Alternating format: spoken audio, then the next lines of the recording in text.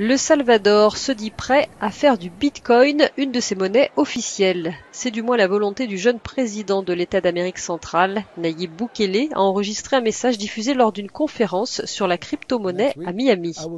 La semaine prochaine, j'enverrai au Congrès un projet de loi qui convertira le Bitcoin en monnaie légale, dit-il.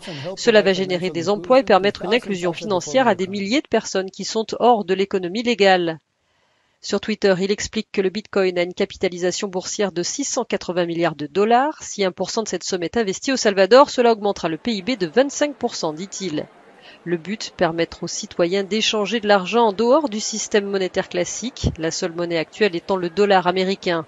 Il n'a pas manqué de rappeler que 70% des Salvadoriens n'avaient pas de compte en banque et travaillaient dans l'économie informelle.